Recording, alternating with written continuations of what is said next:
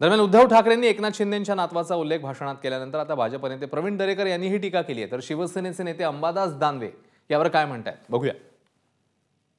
जर तुम्ही मुलाला मंत्री केलं नसतं तर ग्रामीण भागातल्या एखाद्या विभागाचा मंत्री झाला असता त्यांनी पक्षाला ताकद दिली असती.